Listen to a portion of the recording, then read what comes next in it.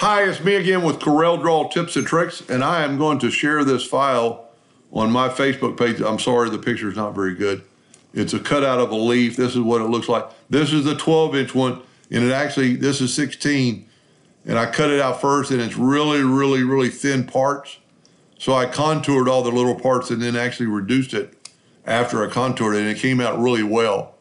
So this should work. Now, if you're gonna cut it out bigger, that's fine. If you're gonna cut out smaller, you need to maybe contour those pieces.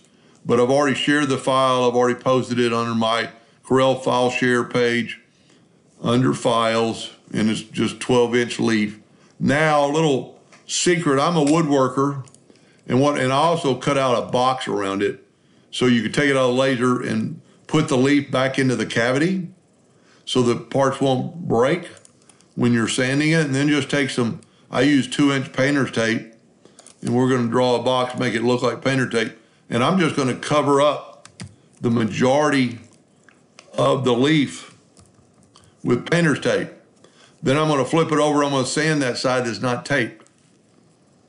Then I'm gonna take that tape off and I'm gonna sand the, do the exact same thing, re retape it and resand it because these these these parts aren't really too little, but it really will help you a little bit on some other cases.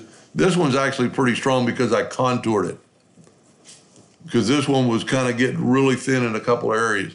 And you can change it. It doesn't have to be, you know, use this file. You could, you know, change it. I've got quite a bit of wood. And when I contoured I got some little bitty parts. And so let's just ungroup everything. Uh, ungroup all so I can do it. And like then grab your nodes and just kind of make this piece a little bit bigger. You'd have to zoom in, grab these nodes, and just make these pieces a little bit bigger because you've got plenty of room.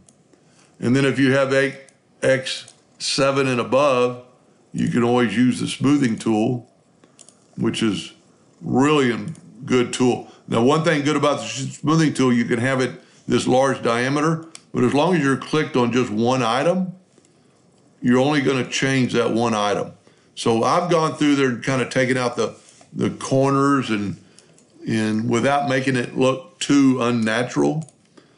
But because of the fact that I contoured it, we've lost some, a little bit of stuff. Now, when lines are close together, in the cut, it doesn't matter. Like that is way too close. So I'd go through there, and what I, since I was doing both of them, I was actually able to change it as the other one was running.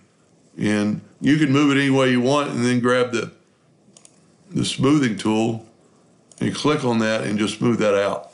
So interior lines don't matter. It's the exterior lines beyond the point that you need for the string.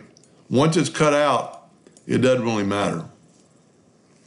Anyway, I hope that helped a little bit, and thank you for watching.